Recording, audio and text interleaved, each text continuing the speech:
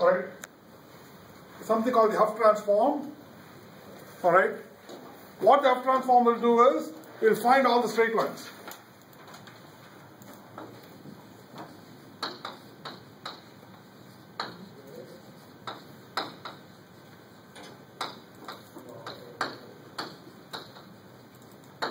All right.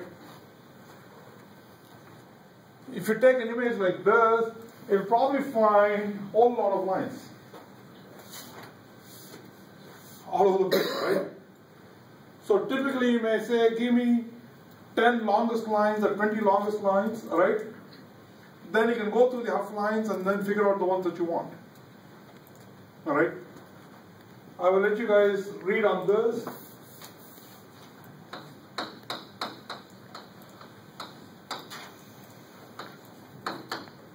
You have, um, anybody seen this before? I know some of you took the computer vision class.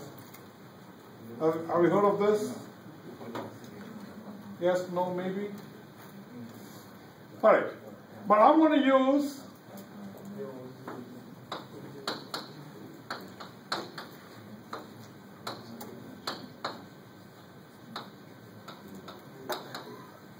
I'm going to use a simple right, line regression, alright?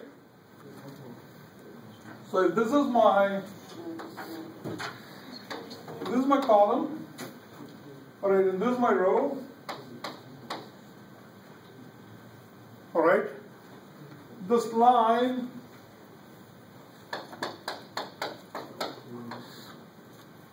I can write this line as column C equals um, alpha R beta.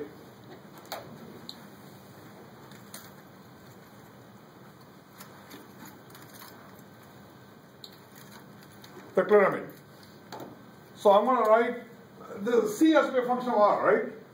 And I'm going to draw a central line. I'm just going to go only at the left plane, right?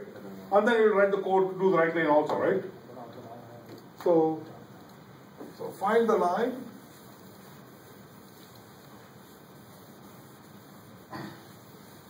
So if so if ck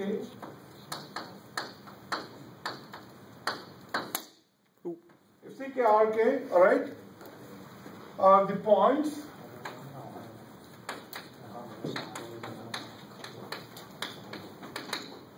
if ck rk are the points all right and I want to find the curve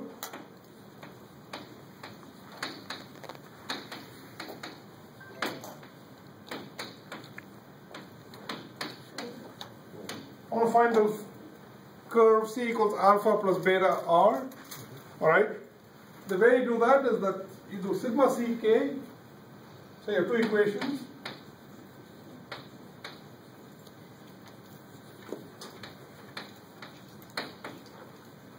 This is from what? IMSE. Oh, oh. Right? Pardon? No. You probably saw that in IMSE 317, which says that sigma Ck equals alpha times sigma Rk plus sigma beta and beta times sigma 1.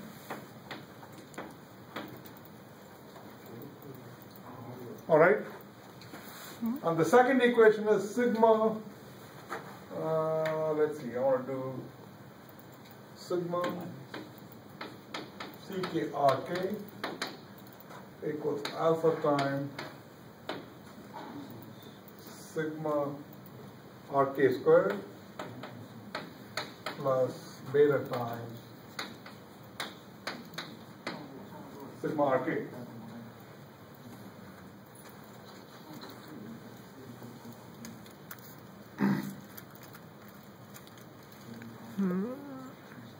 Is that clear? I mean, so those are the two equations I need to solve. It's two equations and two unknowns. So let me call S0 sigma 1 S1 is sigma R, S2 is sigma R squared. Alright? Uh, then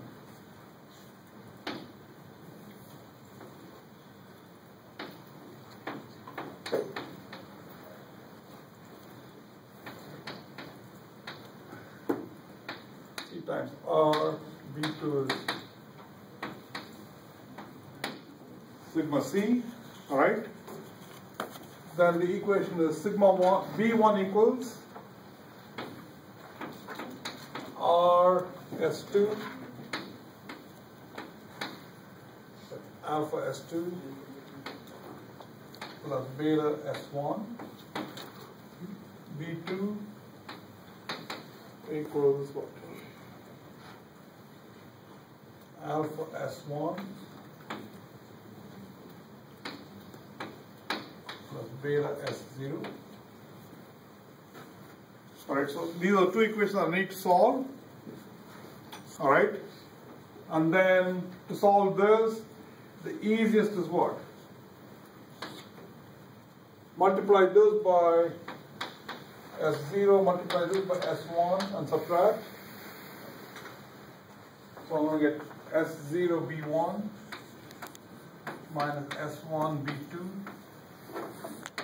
divided by S0 S2 minus S1 squared and that should be alpha. Alright, there's a mistake, stop here, right? Have two equations and two unknowns. So if I multiply this by S0, alright? Similarly, if I multiply this by S1, let me just do it here. So S1 B1, multiply this by S1 minus S2 S1 minus S2 B1. Multiply this by S2 and then you want to subtract. So that goes away. Divided by S1 squared, or maybe the other way. around. Let me do S2 B2 minus S1 B1. If I do S2 B2, if I do S2 B2 minus S1 B1, this becomes, that goes away, so it's going to get S2 S0 minus S1 squared. So that's your beta, right? So I got to program this, all right?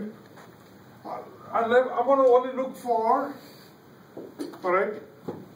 I'm going to only look for columns to the left, all right? And I'm going to do one for the right, all right? So let's do, okay, do you guys see that I mean? That's just two equations and two unknowns, all right?